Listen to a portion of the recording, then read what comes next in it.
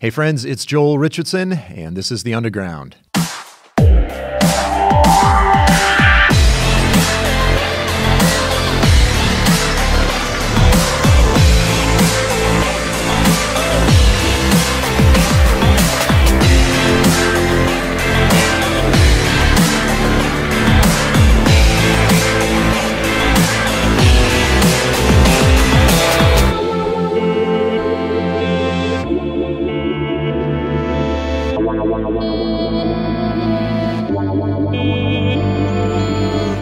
Welcome to this week's episode of The Underground. Well, I'm just going to jump right in. Uh, as you can all see, I now finally do have the long awaited answer to prayer. I have a new studio. Uh, for those who have been tracking with The Underground, you know that over the past year, this has been. Uh, it's been a prayer. It's been something that I've been working toward and waiting for. And I know many of you over the past year or so have even uh, donated toward getting a new studio. Uh, so I want to just give a few brief updates and then I want to jump into a prophetic update.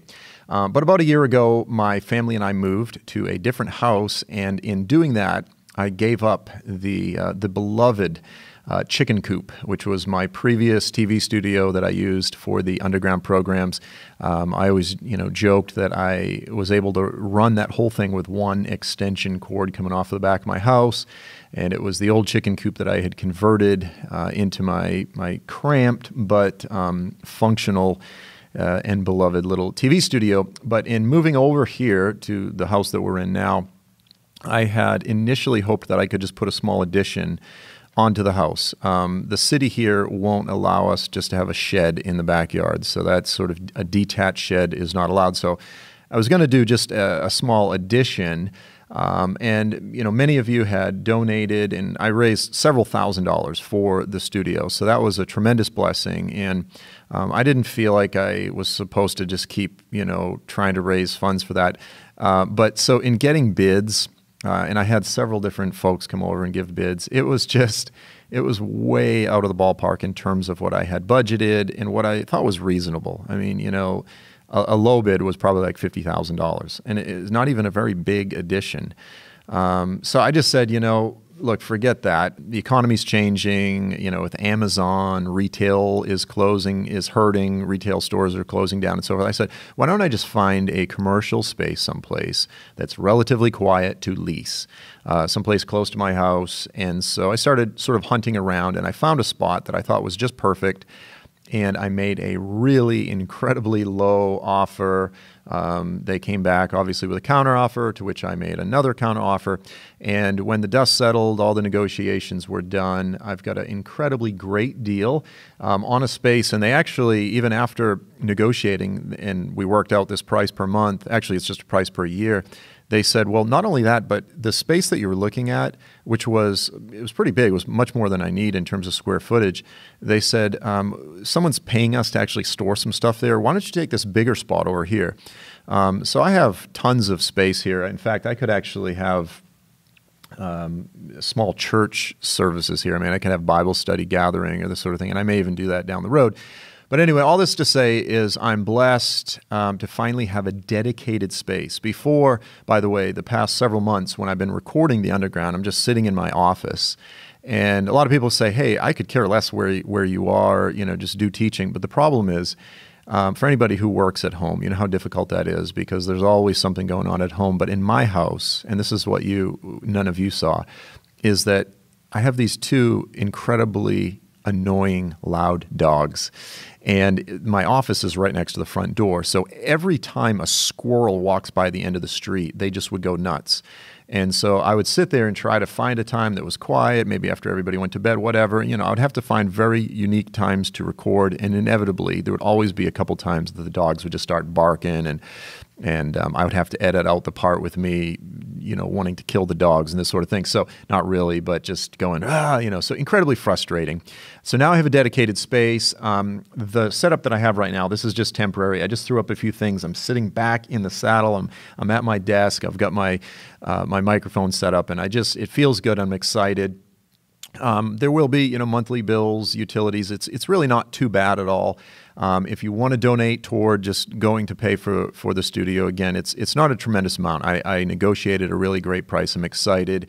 I will decorate. Um, you know, I'm again, I'm not interested in spending a lot of money to do some fancy um, you know set design although i enjoy doing that uh, a lot of people don't realize that i worked for 20 years doing uh, decorative painting artistic and decorative painting which was essentially in a lot of ways set design um, for commercial and, and residential clients and furniture grade cabinet finishes, a lot of these sort of things. So I kind of miss working with my hands, and when I have an opportunity to to do something like this and just create a nice little ambiance, I'm looking forward to doing that. Again, you know, within budget, within reason. Um, so over the next few months, you'll probably see a lot of transformations, and ideally, because I have the space here, um, what I'll probably do is I'll have this my desk. I may change this so that I can have guests. Um, there's a there's a simple little um, reality. I, I, none of you really could care less about this, but I'm interested in this because just the process of filming. By the way, I am the cameraman, I'm the writer, I'm the producer, I'm the editor. I mean, I do all this myself. Initially, when I first started, I had a friend that helped me with the cameras. Um, nowadays, I do it all myself. Now, on this show, because I'm just getting started, I have one camera. Normally, I'll, have a few cameras and I'll edit them together. It's just nice to have uh, something nice to watch and presentable. And long term, what I'd really like to do is actually improve the quality of this little sort of basically a visual podcast and possibly get on some Christian networks. Um, that's definitely worth pursuing, and it's something that I may do down the road. Um, there's just so much important stuff out there that's unfolding that I believe the body of Christ needs to be aware of. So please pray. Uh, toward that. Um, but one of the things in terms of the, just the process, the production process that I'm interested in is um, this desktop, because it's square, um, it's important that the camera is lined up. If you just turn it just the wrong way, everything looks like it's out of whack. And this was actually part of the underground studio because there was bricks that are you know horizontal and so forth. It's very difficult to move the cameras at any angle because everything just looks sort of wonky if you don't do it right.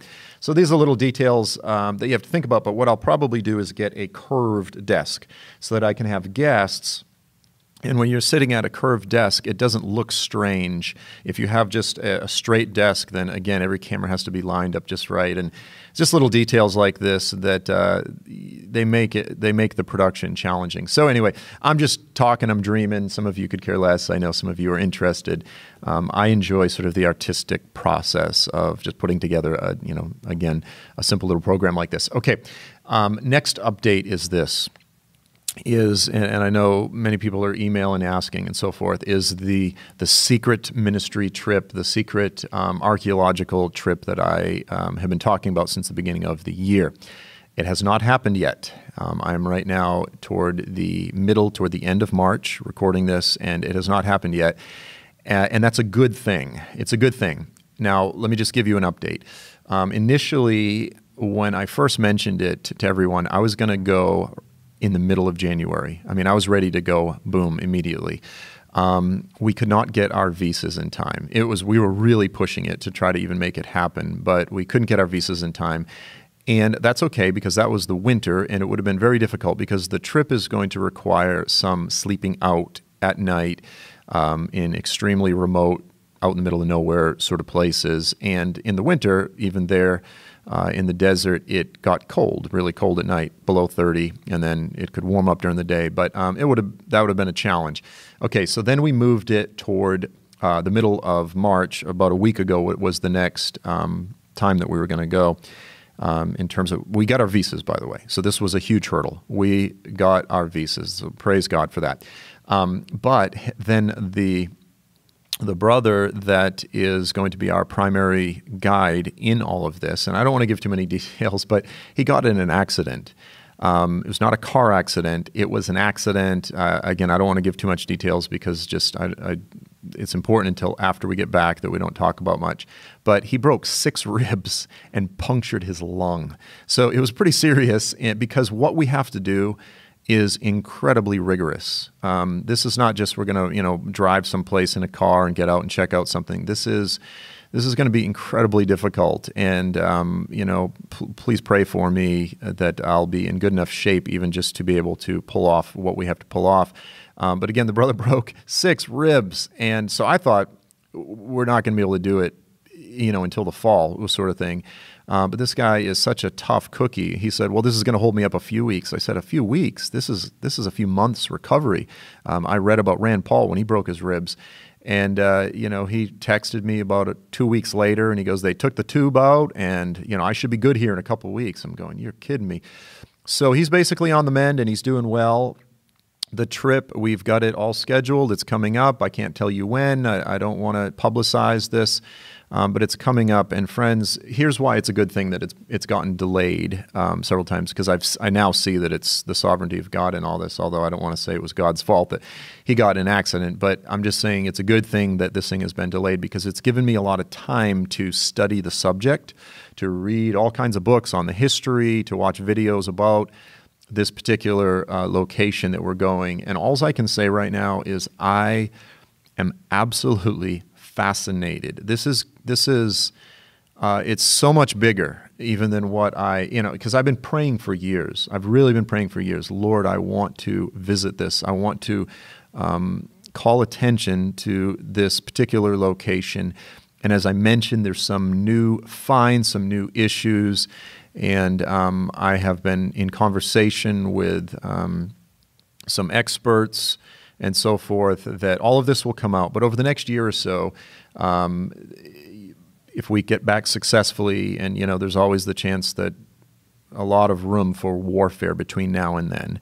Um, but if we get back successfully, you know, get all of the evidence and footage and all of these different things, um, I personally just I'm excited about this. I think it's going to be huge. So I'm rambling on about something that I can't even tell you what it is, but I am just really excited. But here's the thing, guys please pray um, for myself and my family um, over the next several weeks. As you watch this, please pray for us. The warfare is real. Um, there, you know, the, the spiritual warfare over this issue is legitimate, and we've already overcome a few hurdles, but there are several more to go in order to make this make this successful. So please do. Please pray for me. Pray for my family. There's been tremendous warfare. Now, um, I'm not going to get into all of the other different things. There's just a lot going on. We've got a lot coming up here uh, this year. It's it's a very busy year. Um, I've got a trip coming up to Singapore, and then uh, this summer is the One King uh, tour slash conference with Samuel Whitfield and uh, Stuart Greaves, Jay Thomas, and all many of you have signed up, and really looking forward to that. Um, I will mention this just as a first sort of little um, uh, preview. Uh, April 2019. Okay, so I'm filming this in March of 2018. So, over a year from now, I will be doing a tour to Israel and Jordan, and um, this is already in play. We're planning it. I'll begin advertising very soon. I didn't want to announce it um, until after the One King was filled up and so forth. I'll be talking about this soon, but um, this will be just me. It's not going to be a big conference. Um, I'll be leading the tour. Again, we'll be going into Jordan. We'll be going to Petra. We'll be visiting with different ministries. Ideally, I would like to do some ministry, we go to visit some of the refugee camps over there in Jordan. And this is something that, if all goes well, I'm hoping that I can begin doing uh, a tour like this at least once a year. And I'll actually, uh, this particular tour, I'm partnering with Grace Church, which is in St. Louis, um, an amazing, awesome church. Uh, Pastor Ron Tucker, I've actually visited and spoken there a few different times, and I'll actually be visiting again here um, pretty soon in April. And um, Wes Martin, Pastor Wes Martin, is the associate pastor there. Um, as far as right now, I'm not sure, uh, you know, but Wes is coming, so it'll be myself and Wes Martin. And um, so in all likelihood, you know, there'll be some from the family of Grace Church coming, but it's wide open. And so I just want to make everyone aware of that. I'm really looking forward to it. As I said, this will probably be the first in a series of tours that I begin doing at least once a year. Long term, what I would love to do is, is do something different than just your normal Israel tour. Um, you know, I'd like to go to Israel, but sort of to bring in more than just that. You know, Jordan, maybe eventually someday we can even expand it into Iraq, um, to take folks down to Egypt. Uh, unfortunately, I can't go into Turkey with all that's unfolding there because I've been critical of the president and the current Islamist government, and I've had friends in intelligence tell me, Joel, you can't even go through the airport.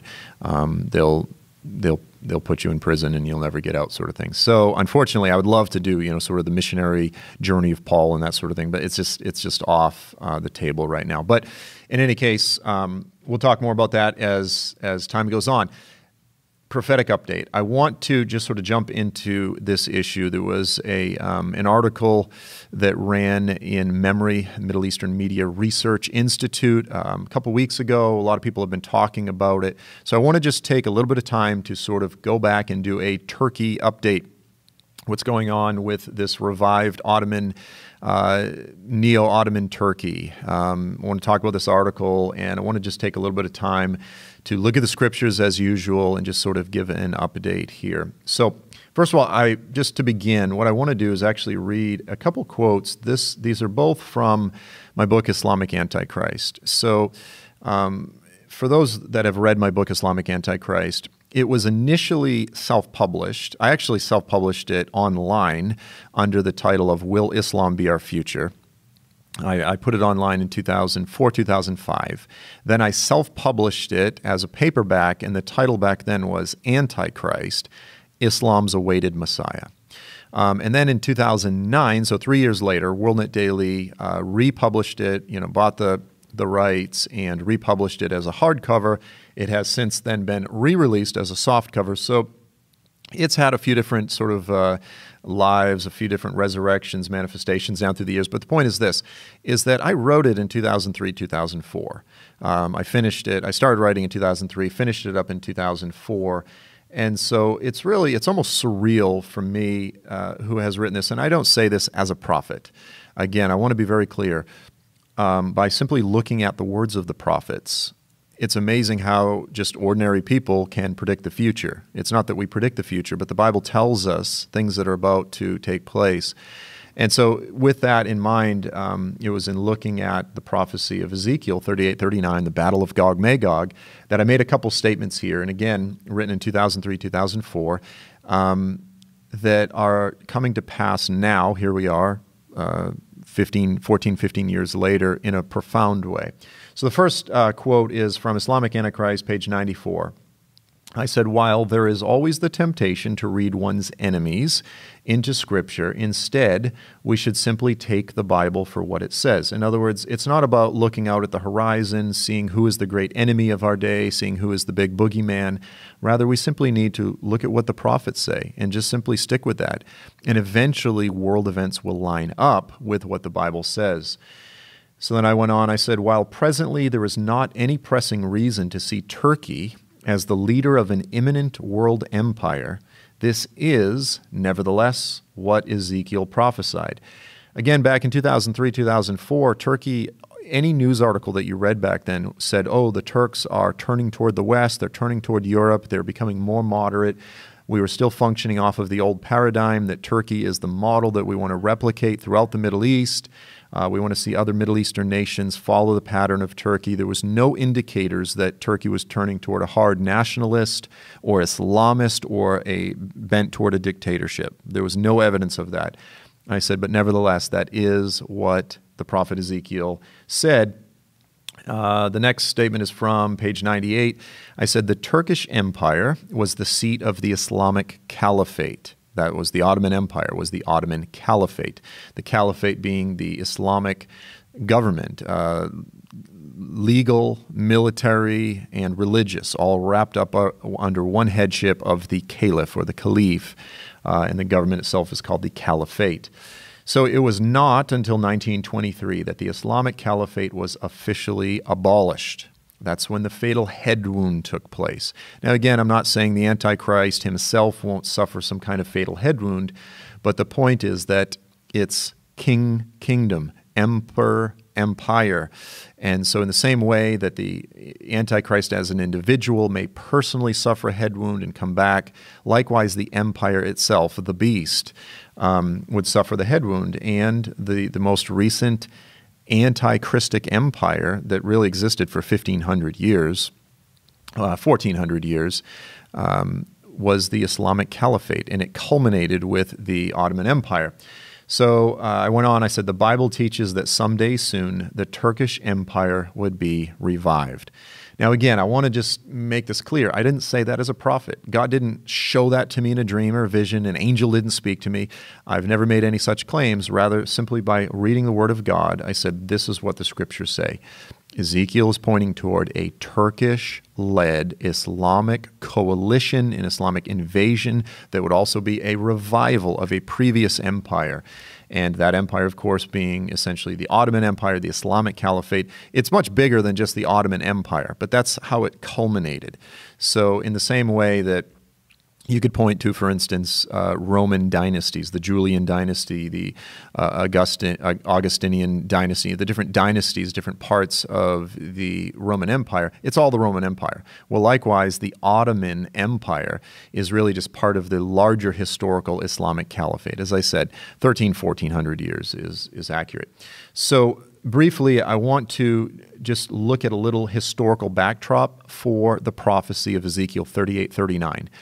First of all, the thing that's interesting about this passage is that it's such a huge, looming monster of a prophecy in the Old Testament. I mean, it's such a foundational, important uh, prophecy, oracle, if we want to understand what the New Testament is speaking.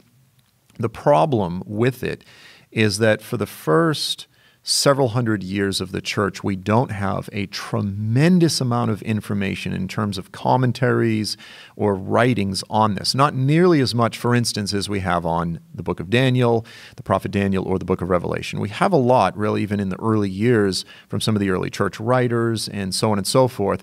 We don't have nearly as much with regard to Ezekiel. Now, obviously, Christians have written much about this, Christians and Jews, uh, down through history, but there's just not as much information in that sort of first first millennium uh, after Christ. But when we look at the Talmud uh, specifically, we see an articulation of the, the Jewish perspective regarding this passage.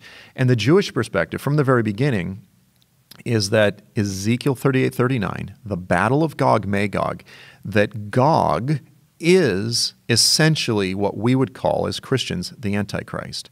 Gog is the final, ultimate enemy of Israel that God will destroy right before the Messiah returns in the age of the Messiah. So, from Targum, Pseudo Jonathan um, on Numbers 11, verse 26, this is again from the Talmud, is this statement. It, again, it articulates the Jewish, earliest Jewish perspective on Gog Magog, really, probably the oldest clear um, testimony that we have from either Jewish or Christian sources other than um, some intertestamental, that sort of apocalyptic stuff. We won't get into that uh, during this program. But it says this Behold, a king shall come up from the land of Magog at the end of days. Uh, ha'achrit hayomim. This is sort of a classic Hebrew uh, phrase throughout the prophets. It's the latter days, the end days, the hind quarter of the days, at the end of days. He shall assemble kings. Again, so a king comes up from the land of Magog. That's Gog. He will assemble kings, skipping forward, and the nations shall obey him. The Gentiles will obey him. They shall array for battle in the land of Israel. But the Lord shall be ready for them. Their dead bodies shall fall upon the mountains of the land of Israel. The wild beasts of the field, the birds of heaven shall come and consume them. After that, all of the dead of Israel shall be resurrected and shall enjoy the good things which were secretly set aside for them from the beginning, and they shall receive the reward of their labor. So you have the destruction of Gog, who is the leader of this last days uh, invasion of Israel, and then he is destroyed. This is the judgment of God against the Gentiles, and then you have the resurrection of the dead. So you begin there, um, then skipping forward, and this is probably the first clearest Christian testimony that we have. Um, again, beyond the intertestamental li- literature, um, Nicholas of Lyra. Now, this is uh, Nicholas of Lyra is an important guy. He wrote in the 13th, 14th century. He was probably the the strongest um, Hebrew scholar of that uh, that period of that century. He was a um, medieval Hebrew scholar, just renowned biblical exegete. Um, he believed that Gog was another title for the Antichrist. And this is, this is important because the earliest Christian exegete, now, Lyra was cited extensively by the reformers who came along just, you know, again, 150 years later, they're, they're popping and they're citing Nicholas of Lyra. He was a very important figure from that period. He believed that Gog was simply another name for the Antichrist. This is what I've been teaching for years. Again, in my book, Mideast Beast, uh, and just in so many other teachings. I'm like, look, Ezekiel is telling the same story as all of the other prophets. Lyra also affirmed that Islam, which he referred to as the religion of the Turks, so the Turks, of course, are creeping up into Europe. And so, most often, when the European Christian writers were speaking of Islam, they just referred to the Turks. When they referred to the Muslims, they just referred to the Turks. When they referred to Islam, they would just say the religion of the Turks. Um, because that's what they were acquainted with. And he believed that Islam was the religion of the Antichrist. Okay, so he believed that Gog was the Antichrist, and he believed that Islam was the religion of the Antichrist. Again, pro- most prominent Hebrew scholar and biblical exegete of the 13th and 14th century um, affirmed that which I have been affirming um, for the past 15 years or so publicly. And, you know, again, it's, this is important because you have so many people that go, Joel, your perspective is new, it's different. No, that's an incredibly myopic perspective. If we're reading just books that have been put out by popular prophecy authors, uh, over the past hundred years, then yes, the idea that Islam is the religion of the Antichrist is a minority view. But in terms of church history, it's by no means a new perspective. In fact, with regard to Gog, it's actually the earliest perspective. Um, and then this is interesting. John Mayer, who's a very well known reformer, um, he was referring back to Lyra's view, uh, which again is Gog is the Antichrist, and he went on to say that it is the most generally received view among the reformers. So even among the reformers, they believed that Gog was the Antichrist, again, uh, reflecting Lyra's perspective. Now, we could do a whole show where I just cite endless exegetes, different folks uh, down through history that have affirmed this, that agree with uh, what I've been saying, which is that Ezekiel is simply talking about the Antichrist. Gog is simply another name for the Antichrist. But there's just a few names that I'll throw out there because it's interesting, it's fun, um, and again, just to see that my perspective is by no means something new. John Nelson Darby. Um, I'm not a big fan, um, you know, but he is definitely a looming figure within the Bible prophecy community today. He's the father of modern dispensationalism. Uh, and in his synopsis of the books of the Bible, he explains that Gog represents the forces of the Antichrist. Here's what he says He says, Gog is the end of all the dealings of God with respect to Israel. God brings up this haughty power in order to manifest on earth by a final judgment his dealings with Israel and with the Gentiles. Uh, C.I. Scofield, again, sort of a student of Darby, who then sort of took Darby's perspective with regard to dispensationalism, pre tribulational rapture, and so forth, and really spread it all over the United States. Again, a, uh, I'm not a, a huge fan. Um, I mean, he's not among my favorites from that period, um, but he's a looming figure within the prophecy community. He viewed Ezekiel 38 39 as none other than the Battle of Armageddon. Um, he says this that destruction should fall at the climax of the last mad attempt to exterminate the remnant of Israel in Jerusalem. So, Ezekiel 38 39, he said, It is the last mad attempt by the devil to exterminate the remnant of Israel. He goes on and he says, The whole prophecy belongs to the yet future day of Jehovah, the day of the Lord, and to the battle of Armageddon. So, Darby, Scofield, again, going back, um, skipping forward, uh, Charles Lee Feinberg, um, a prominent Messianic Jewish expositor, again, a dispensationalist. Um, he wrote a great commentary on Ezekiel.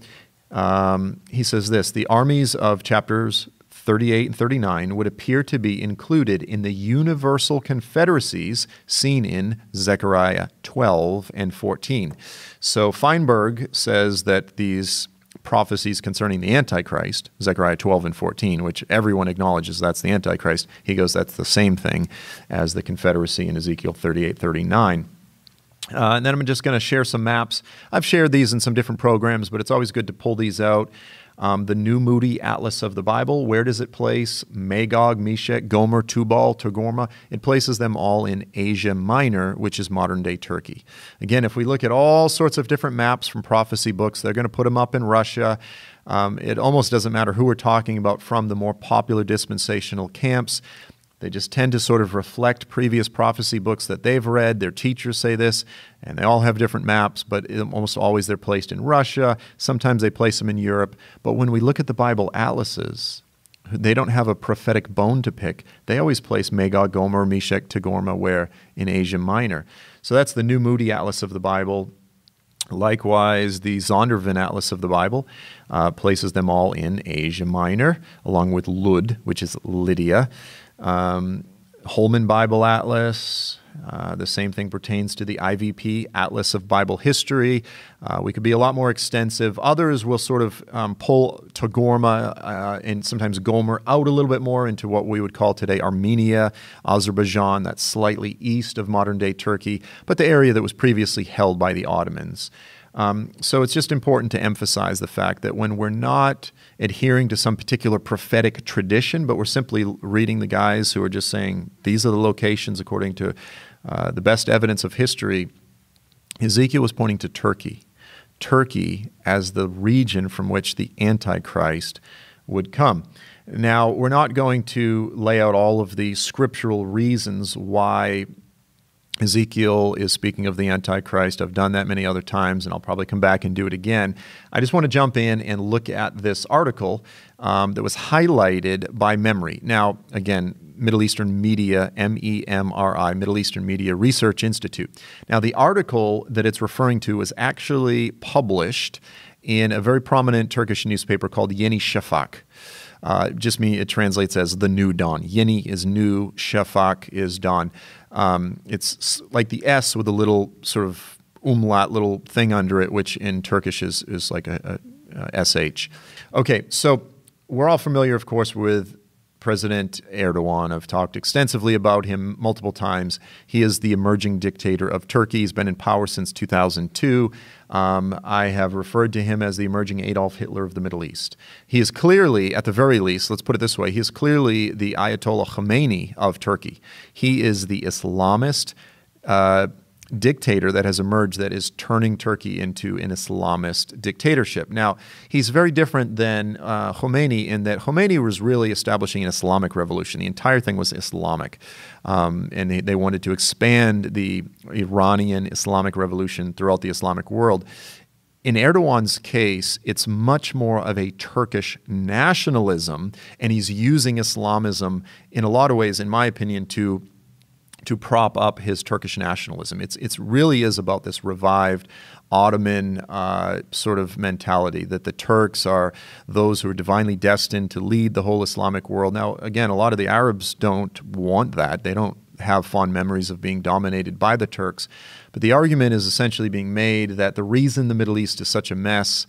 Uh, is because of the Western colonizing powers. You know, we look at Syria, Iraq, it's a nightmare and um, not just Iraq and Syria, but there's just so much in Yemen. And the reason the whole Middle East is a mess is because the Ottoman Empire was dissolved. That if we would return to an Islamic caliphate, that once again order and um, so forth could be restored toward the Middle East. This is essentially the argument that's being made.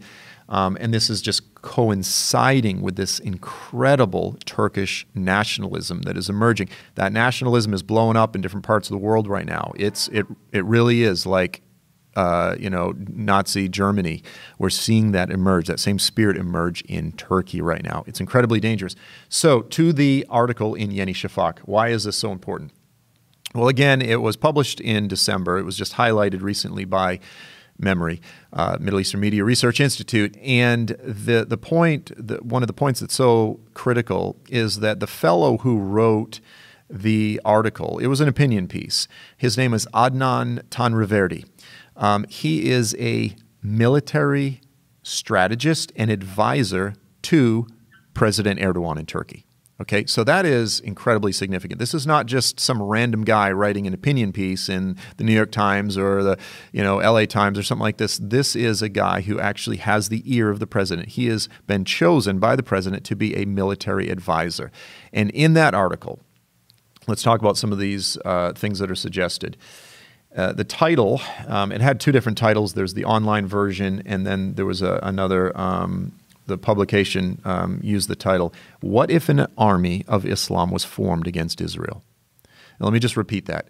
What if an army of Islam was formed against Israel? So he talks about this idea of forming an Islamic army, a unified coalition.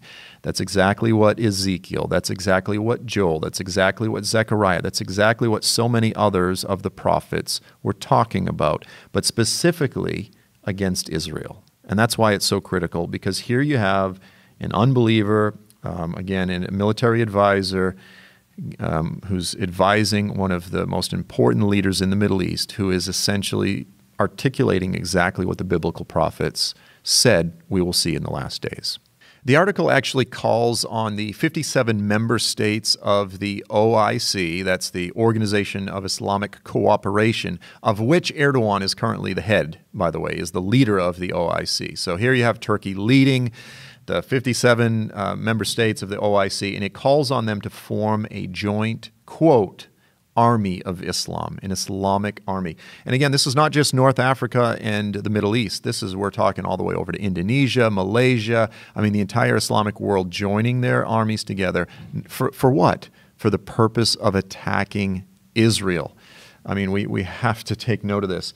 It uh, specifically notes that such a joint army will be greatly uh, more powerful. It will be significantly more powerful than the Israeli army in terms of manpower, in terms of equipment, in terms of budget, in terms of, I mean, he, he just goes through multiple statistics and he goes, look, he's, he says even Turkey by itself has a much larger army. And he gets into statistics, and this is really from a military, uh, you know, strategic perspective, this is really true. Israel is a small nation. We need to remember this. The United States, you know, is such a, a vast um, piece of property with so many different cities, you could you could literally eliminate a handful of cities in the United States with nuclear warheads, and the overwhelming majority of the country would be essentially unscathed. Um, the nation of Israel is such a, a, small piece of property, relatively speaking. And you look at the city of Tel Aviv, over half of the Jewish population of the entire country lives in that one city. And it would be very easy if you had enough manpower coming against Israel um, to do significant damage uh, to the nation and possibly, you know, actually take them out. So we need to understand this is this is, um, you know, I know a lot of people listening will be like, no, the Bible says God's going to protect Israel forever. We won't get into all of that in terms of what the scriptures actually do say, because the scriptures are very clear that the time of Jacob's trouble is still coming, is yet future. I mean, there there are very dark days ahead for the current state of Israel. That's not the perp- that's not the topic of this show. Um, but we, we need to realize that when threats like this are made, when uh, things like this are made, these are legitimate dangers. Uh, the article goes on to describe Israel as the outpost of the new crusade, or the new crusaders, and the dagger in the heart of Islam. It also calls Israel the eyes, the ears, and the fist of the Christian world.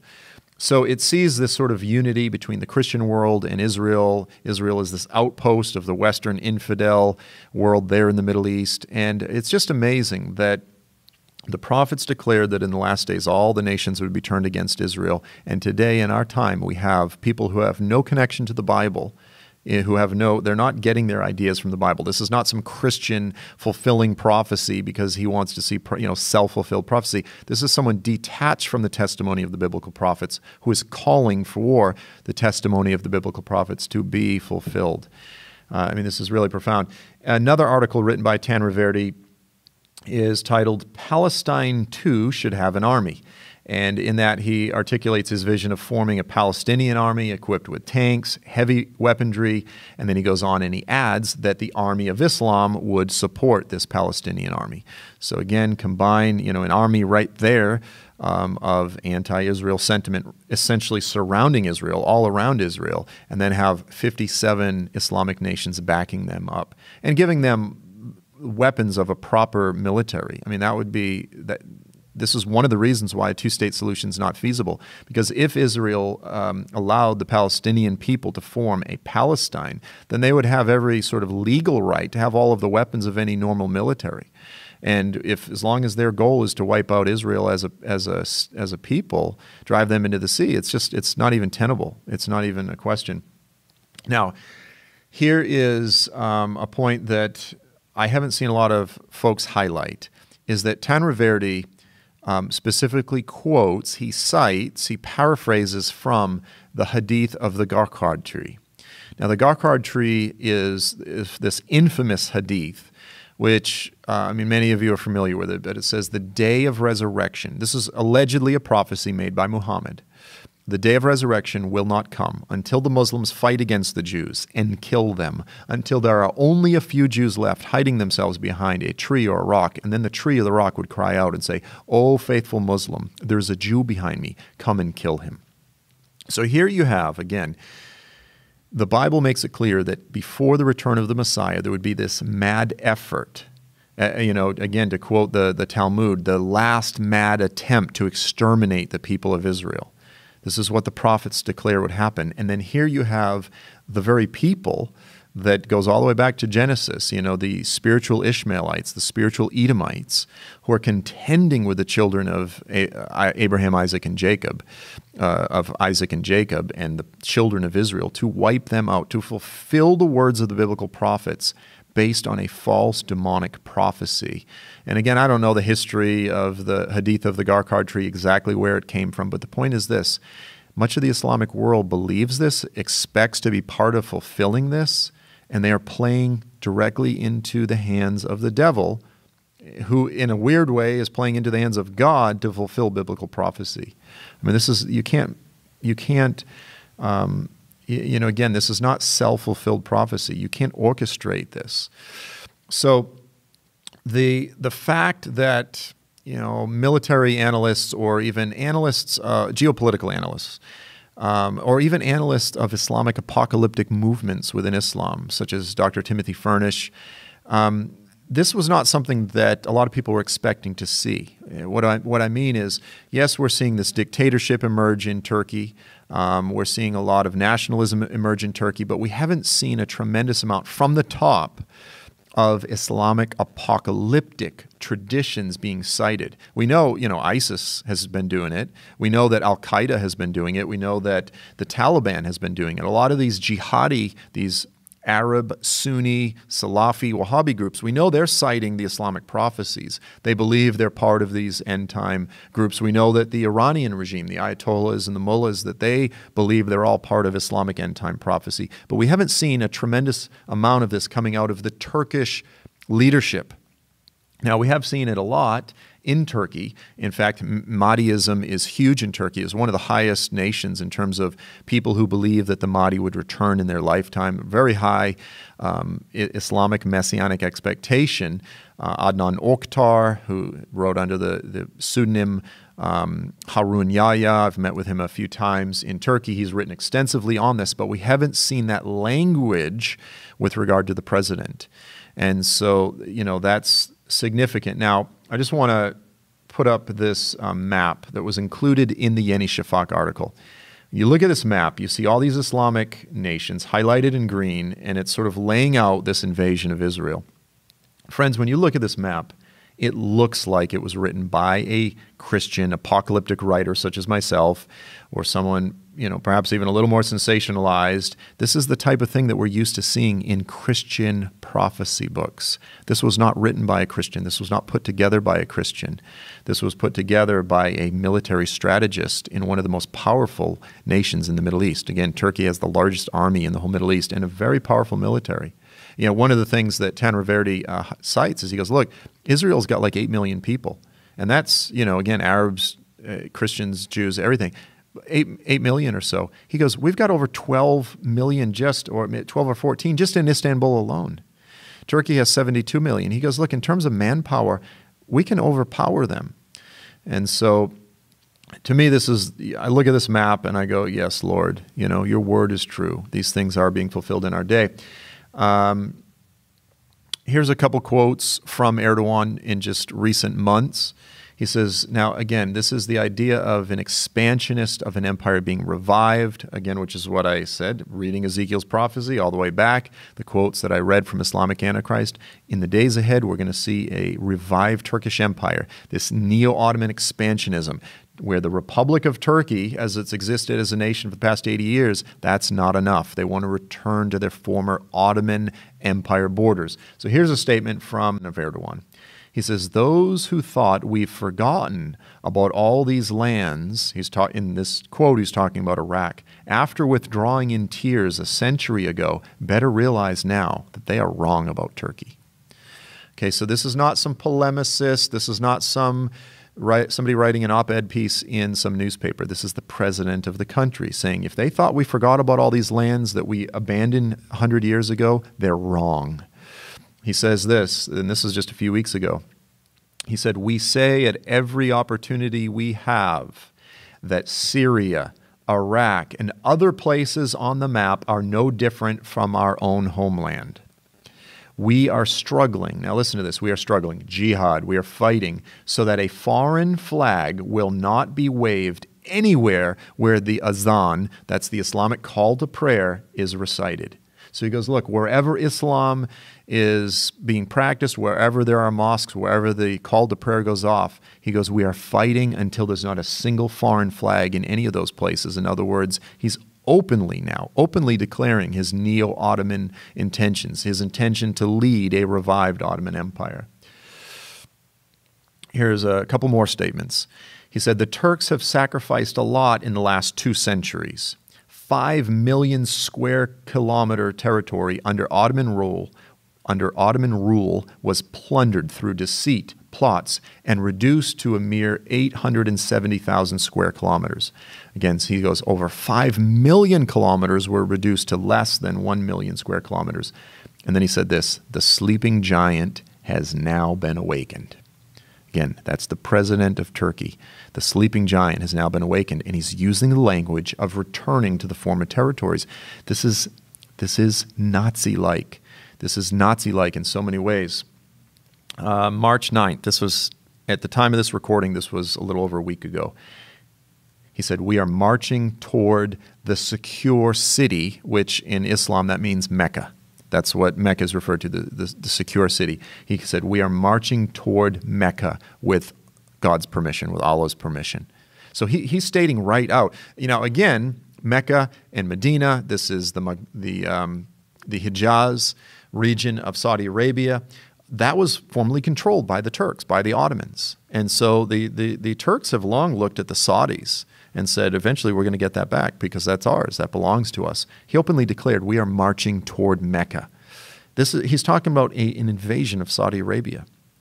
Um, for those that have read my book, Mystery Babylon, you know that I believe that eventually the beast, which I believe is led by Turkey, will turn on the harlot, which I believe is the kingdom of Saudi Arabia, the city of Mecca. I mean, here you have the president of Turkey essentially, uh, you know, reading his uh, lines almost right out of my stuff. Not because it's mine, but because I'm simply citing the biblical prophets. This is significant. Um, here's another statement that ties in um, Islamic apocalyptic sort of end time views with this Turkish nationalism. This was a statement by Yasin Aktay. Now, he's a, he's a lawmaker, but he's a senior member of the AKP party in Turkey. So here's the, again, he's not just a no one. But he said this he said, Turkey is the acting leader of the caliphate, while the Muslim Brotherhood, uh, Ikhwan, not just in Egypt, all over the Middle East, and Jamaat al Islamiyah, they're primarily operating over in like Pakistan and India and so forth, are part of Turkey's soft powers. So he goes, these Islamist groups, they're part of our soft powers. He goes, but we are the leaders of the caliphate. Um, so it's just, you know, sort of all of these things coming together. Um, there was another article just a few weeks ago that referred to General Erdogan's first war. He's talking about the invasion of Afrin, again, which is Syria. This is a foreign invasion. Turkey expanding its borders, attacking the Kurds, the primary people, by the way, who fought off ISIS, American allies, and we're just standing back and letting it happen.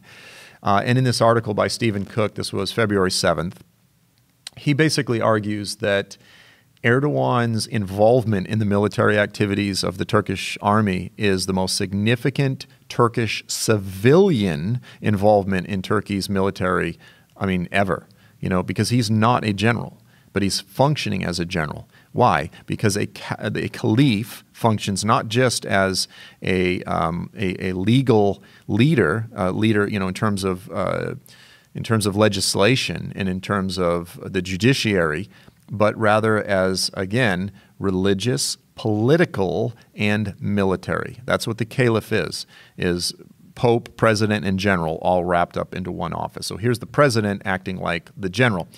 So just to uh, summarize and wrap this up and uh, and complete this this program, uh, really everything that the biblical prophets laid out, they are all falling into alignment uh, in a very profound way. Am I saying that Erdogan is the Antichrist? No, I'm not saying that at all. Um, again, I believe that it's quite likely that he is uh, he's an excellent forerunner to the Antichrist. He's an excellent precursor to the Antichrist. Um, but I believe he may be a prominent prophetic figure um, but not the Antichrist. I believe someone else is coming. I could be wrong. You know, sort of in terms of Antichrist candidates, he's a he's an excellent candidate. Um, but as I've talked about before, I believe that Daniel 8 tells us that there's a massive Iranian war that will be followed by a Turkish response. And it's sort of out of the ashes of these, um, these couple of wars that we will see the Antichrist emerge. But in the meantime, the signs are falling into place. Uh, significant, significant things are developing in our day. And we need to be aware, we need to be alert, we need to be paying attention, but most of all, we need to be giving ourselves to sharing the gospel, completing the Great Commission, giving ourselves to holiness and prayer, and awaiting the return of the King. So, uh, with that, I'm going to wrap it up for this week. Um, again, thank you so much. Just everybody, thank you so much for your prayers, for all of your support. It really means the world. I'm so excited to be back here in the studio, and I look forward to uh, getting busy. I really, I'm going to start being very deliberate about trying to record regularly, to do all kinds of teaching, to release all sorts of new books and DVDs and different things over the next year. I've got so much that I want to talk about and it's a blessing to be able to have some space, some dedicated workspace to really be productive. So, again, please keep myself and my family in prayer, and I'll look forward to seeing you real soon. Until next week, I'm Joel Richardson, and this is The Underground.